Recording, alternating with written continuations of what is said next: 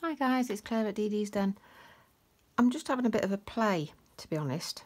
Um, I've just done a little note card, um, this one that you will see on the video previous. Um, but then because I've literally just bought this stamp set, I decided to just have a little bit of a play and see what effects I got with which stamps. Um, so I'm just going to sort of show you little bits that I've done. Literally just sort of scraps of paper printed on just to try them out. Um, this one is done using that stamp, the outline stamp, and then so you print that first and then you put that over the top but do it as a repeat stamp. I've shown you repeat stamping before. Um, re repeat stamping, I'll just do you a quick one just so you can see.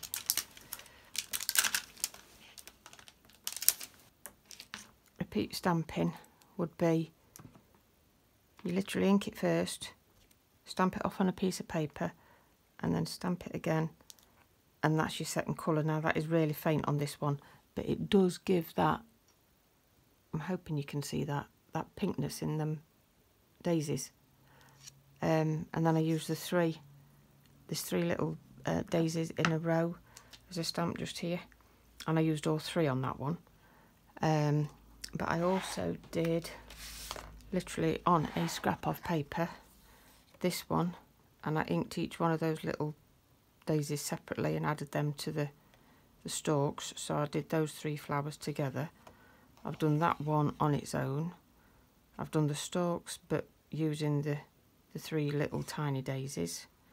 There's a longer stalk here this one. Can you see that? Sorry I'm out of shot. This one and then those sort of sit in the right places to actually do sort of like the little flowers over.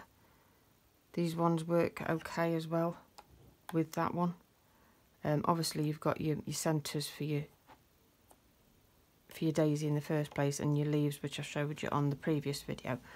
Um, but I just decided to have a little go at something and I'm just going to show you that because I think it's a good idea. I do have them occasionally. Um, couple, actually one more before I do. Um, the thank you is actually one long stamp. Oh, you can see that or not. Can you see that? But I've literally inked half of it and stamped and then inked the other half and stamped so that you can do that. And then you could have your thank you for your kindness. Um, that little bit there, sort of underneath. That was just literally a piece of card that I was sort of having a, a play in a scruff about with. So I'm just going to tuck that bit under there a sec and I'm going to show you.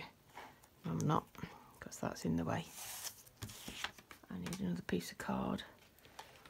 Scrap card. I always have scrap card handy just in case I decide to try something. So there you go. Piece of scrap. What I'm going to do is I am going to ink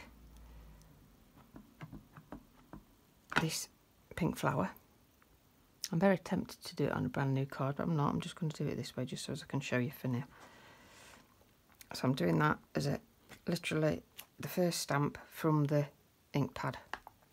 And then using the punch that I'd um, cut these daisies out with, I'd got that left because I'd cut three daisies out. So there I've got a template. So what I'm doing is I'm going to line that up over the flower that I've stamped. I'm going to get my dobber and I'm just going to go over it. Now obviously you can go over the whole flower or you can leave your centre so that you can stamp that in yellow or orange or whatever colour you decide you want to stamp it in because obviously it depends what colour you actually done your flower in the first place. I'm then going to do my centre of my flower before I lift that because I want to show you what it comes out like. So we're going to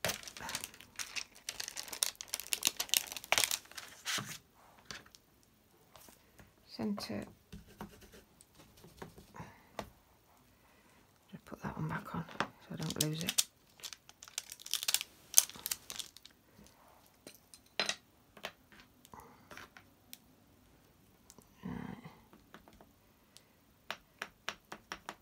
Just want to see how yellow it comes out first. Yeah, that's okay. So we're going to do the centre of the flower. And then I'm going to lift the stencil away. How cool does that look? I'm really liking that. Dead easy to do. Obviously you can just add more, just keep going. If you wanted to do sort of another flower off, off, center, off centre, that don't even make sense. I'm going to try this before I do anything else. Seems I said I am just trying things. I really do suggest when you get your stamp sets that you just play. Not any particular card that you're planning on making to begin with. Literally just play with your stamp, with your, with your inks, with your stamp sets and whatever tools you've got handy like I say I mean I'd literally just done this this was just happened to spot this particular bit and I thought hmm wonder if that'll work. So um you could do this with your dry wet wipes so that you've got that. In fact you could even use this bit as something else now if you wanted to. Um but there you go. How pretty is that? I might even cut that out and put it on another card. Just playing. As I say, I really do think that when you get a set of stamps and your inks, just try different things, play around with them. Obviously, you can check YouTube, you can check Pinterest, you can check all them things, Google.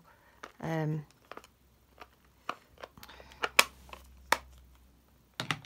all the things, basically, um, to find the various different sort of ideas. There's always lots of ideas on uh, Pinterest and Google for you to